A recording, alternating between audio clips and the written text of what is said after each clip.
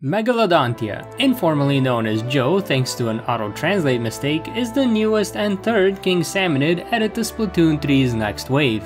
And with the current upward trend of King Salmonid HP, I'm a bit afraid of how bulky number 4 might be. Anyways, if you try to take on Joe by only shooting at his body, you stand no chance at winning. I mean, you can barely clear the Cohozuna that way, and this guy has twice the HP. The good news is that Joe here has a blatantly obvious weak point. Some call it a pimple, I will call it a sensor since it kinda looks like a little orb that Moths use, and because this thing is so much more sensitive to attacks. The bad news is that there isn't much information on Joe, so to find out how much more damage we do by attacking the sensor, I had to resort to some unconventional methods. Watch out gamers, I've committed a science. Well, it's more of a math this time. So I popped open Photoshop, traced over the little damage bar from one golden egg to its weak point, and then used that to get a rough estimate. To win against Joe, you just need to hit his weak point with about 44 golden eggs. Now for reference, it would take 81 golden eggs to the rest of his body in order to win. So even though these are rough estimates, I would say that the sensor takes double damage. Now, how do you actually hit this thing's weak point? The little sensor thing is on Joe's back, and after each attack, Joe will hang out above ground for roughly 6 seconds. Then he dips below ground for 3 seconds and readies up his next attack. Then he attacks and repeats the process. The whole attack cycle takes about 9.5 seconds, so Joe will attempt to munch on your crew a grand total of 10 times. This also means that his body is only exposed to attacks for a full minute. On top of the super huge HP bar, this boss is invincible for 40% of the wave, so you really need to go for that sensor his back. It's not a joke. Go pop the pimple. The nice thing about Joe is that you can predict which way he'll be facing even before he attacks. That's because he will swim towards his target to attack with his back and weak point facing the direction he came from. At the start of the wave, his back will always face towards the shore where all of the other bosses spawn from, and after that, his back will face the location of his previous attack. Use this information to try and position Joe so that it's easy to spam golden eggs at him right after he attacks. The other good thing about Joe's attacks is that it will destroy the other bosses. He's got friendly fire turned on, as long as they're within that circle of attack.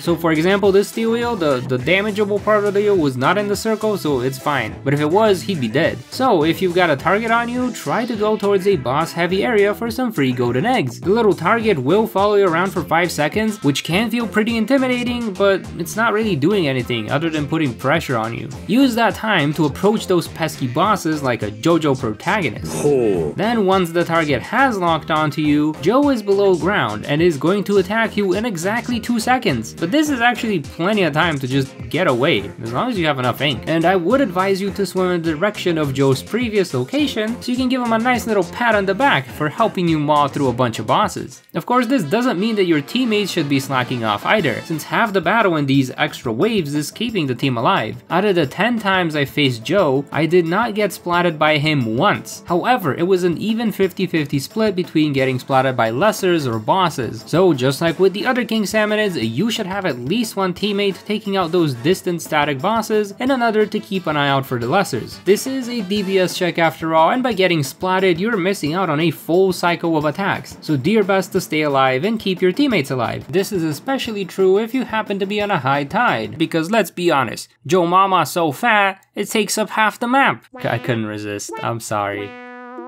If you have any other tips for Joe, leave them down in the comments below. And if you enjoyed this guide and would like to see more of my Splatoon related guides, click on this playlist or check out the Cohozuna guide for a more of a deep dive on how you get all the scales and that type of stuff. Either way, I hope you guys found this useful, thank you for watching, and happy salmon running.